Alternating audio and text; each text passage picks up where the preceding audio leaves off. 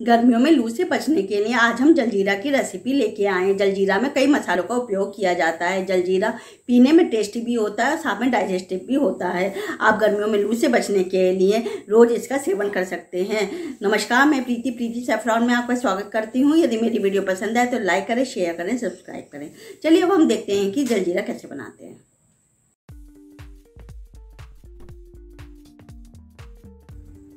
जलजीरा बनाने के लिए हम सबसे पहले हींग को भूनेंगे। अब हम कोई भी छोटा सा पैन लेंगे, तड़का पैन ले लेंगे। इसमें हम चुटकी भर हींग को डालेंगे। गैस की फ्लेम को लो रखेंगे और हींग को महक आने तक कुछ सेकंड के लिए भूनेंगे।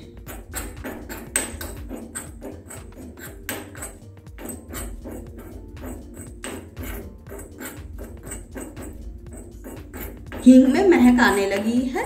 अब हम गैस की फ्लेम को बंद कर देंगे और इसको एक बॉल में निकाल लेंगे अब हम एक मिक्सी का जार लेंगे। इसमें हम एक मुट्ठी पुदीने के पत्तों को डालेंगे। पुदीने के पत्तों को मैंने अच्छे से साफ़ कर लिया है और दो तीन बार पानी से धो लिया है।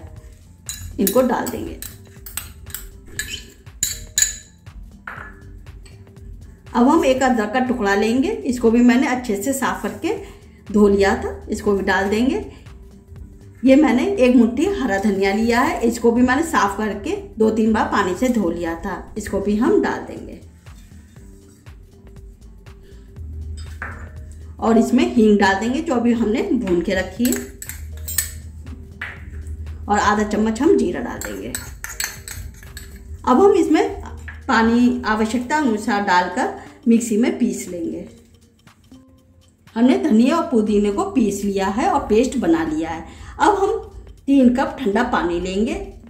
इसमें हम धनिया के पेस्ट को डालेंगे।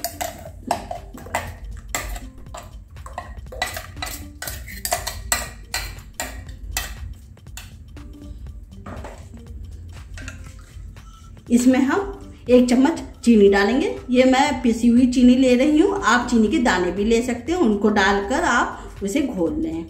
मैंने पीसी चीनी इसलिए ली है क्योंकि आसानी से ये मिल जाएगी, हमें घोलनी नहीं पड़ेगी।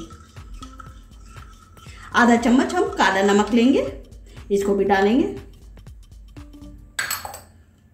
एक चम्मच हम रेगुलर नमक लेंगे। नमक आप अपने इच्छा के अनुसार भी डाल सकते हैं। चौथाई चम्मच हम काली मिर्च पाउडर लेंगे, उसे भी डाल देंगे। एक चम्मच हम अमचूर पाउडर लेंगे। अमचूर पाउडर बनाने का लिंक मेरे डिस्क्रिप्शन बॉक्स में आप देख सकते हैं। इसको भी डाल देंगे। अब हम इन सभी को अच्छे से मिक्स कर लेंगे।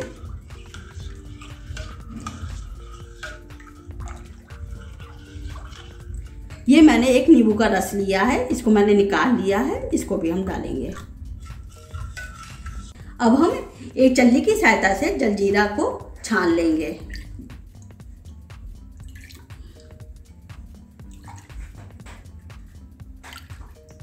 जलजीरा पानी को हमने छान लिया है। ये देखिए, मोटा धनिया, पुदीना, अदरक जो पीसने में रह गई थी, वो बच गया है। आप इसको भी बारीक काट कर फिर जलजीरा पानी बना सकते हैं। अब हम इसको निकाल देंगे और बूंदी डालकर सर्व करेंगे। हमारा जलजीरा बनके तैयार है। आप गर्मियों में लू से बचने के लिए अपने परिवार को और फ्रेंड्स को बनाकर सर्व कर सकते हैं। मेरी वीडियो देखने के लिए बहुत बहुत धन्यवाद। अब हम अगली रेसिपी के साथ आपसे मिलते हैं। नमस्कार।